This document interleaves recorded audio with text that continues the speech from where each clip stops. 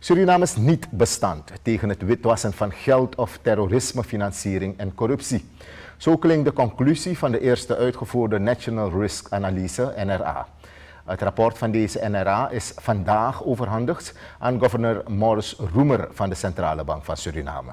Daarna heeft Roemer een kopie overhandigd aan eh, ministers eh, Armand Agaibersin en Kenneth Amoxi, respectievelijk van Financiën en Planning en Justitie en Politie.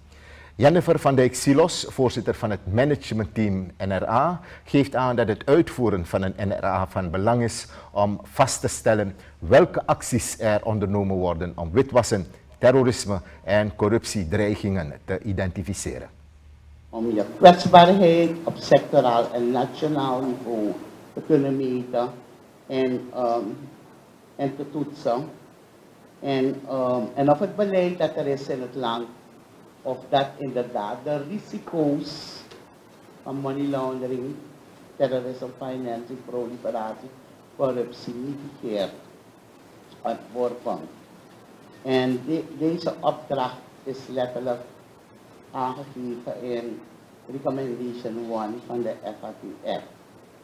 En op basis van dit rapport dat nu uit is, moet nu het vervolgtraject met spoed worden ingezet.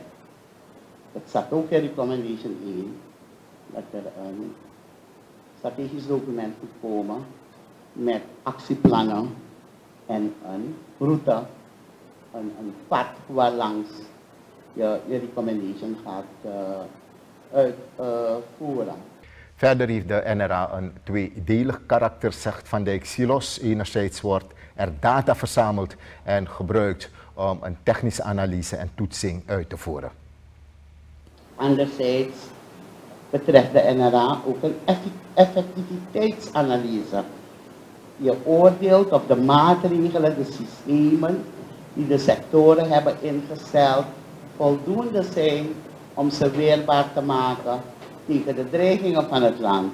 En geloof me, ik kom straks op dat punt, dit land heeft veel dreigingen. Dus, en, en, en dat noemt men die effectiviteitsanalyse. Er zijn indicatoren ervoor ontwikkeld door de riskanalist om dat te kunnen toetsen. Met alle informatie die we verkregen hebben uit de kwantitatieve data-analyse en de, en, en de kwalitatieve analyse die we hebben uitgevoerd. We moesten een kwalitatief onderzoek doen om de geringe kwantitatieve data aan te vullen. Er is geen traditie in dit land van geen, bijna geen enkel bedrijf, enkele van de financiële sector zijn de banken die echt schitteren daarin. Dat ze hun statistieken redelijk bijhouden. De DNFBP's hebben nauwelijks statistiek of niet. Dus er moet veel veranderen op dit gebied om goed inzicht te krijgen um, in, in de problematiek van dit land. Dat is dus uh, Jennifer van Dijk Silos, voorzitter van het managementteam NRA. Aan de hand van de rapportage heeft Suriname een algemene waardering van partially compliant, oftewel gedeeltelijk meegaand.